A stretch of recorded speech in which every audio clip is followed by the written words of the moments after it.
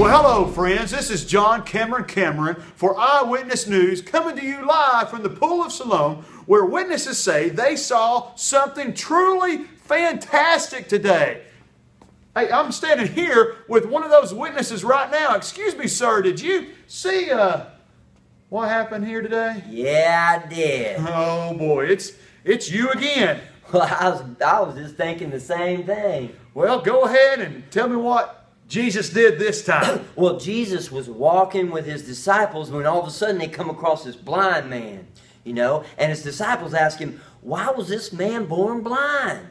And Jesus said, So everybody could see God's power.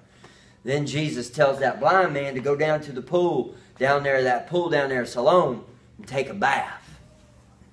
Take a bath? Yeah.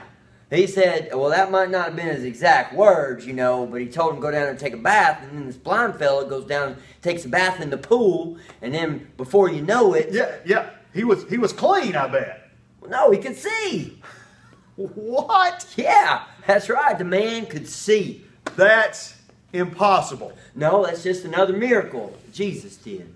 There's there's had to uh, be a mistake. Maybe he wasn't really blind, or maybe you know. Now, well, now listen here, Mr. Reporter Man. Mm-hmm. I'm gonna tell you something. All them religious people have been asking Jesus the same questions all day long. Mm-hmm.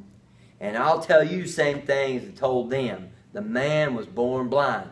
Me and my wife Ethel, we've known this man our whole lives, and I tell you what, right now that man can see. Well, you know, I probably wouldn't go around uh, telling people that. They're liable to think that you're crazy, sir. Well, I gotta tell people, especially you, Mr. Reporter Man.